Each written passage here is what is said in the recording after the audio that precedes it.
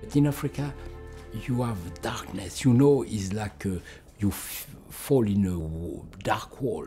Suddenly, you have no light at all, no hope of light.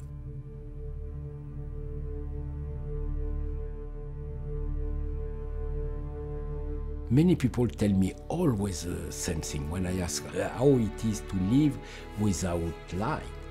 And always two, three, four, five times the same answer was listen, at seven o'clock when the night arrives, you have the real feeling to living in a tomb.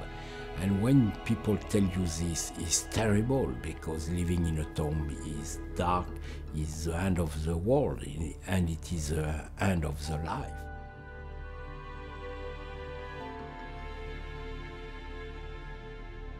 Benin is a country with no big disaster, no war.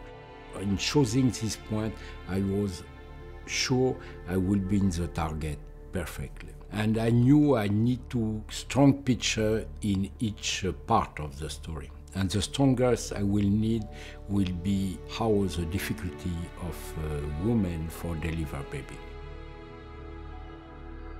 One night, uh, midwife called me. I said, "Okay, I have a madam will come now, and I think it will be the, this night's uh, birth." And it was very fragile because at this point, because if difficulty come during the delivery baby, you have no hospital, you have nothing around, and this lack of electricity, how is affect really for life or death? And I was really touched, and in same time. I feel very sad for the people because when I was there it was okay, but you know it's not always the case. I remember one day I went in a room where the children were sleeping outside, no light, just a small light. And what we realized is a real darkness. I cannot use flash because I need to keep the darkness, I need to keep the mood of the darkness, and if I don't keep the mood, I cannot uh, pass what I feel, and I need to use my technology for that. I tried to shoot in long exposure with the moon, I tried, but it was not working.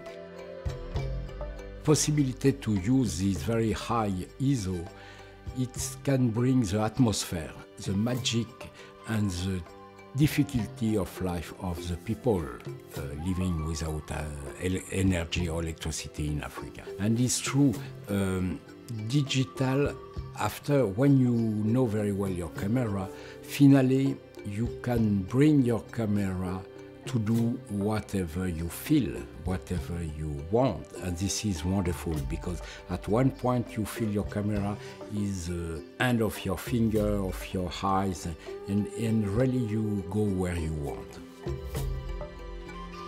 I shoot mostly uh, in two cameras.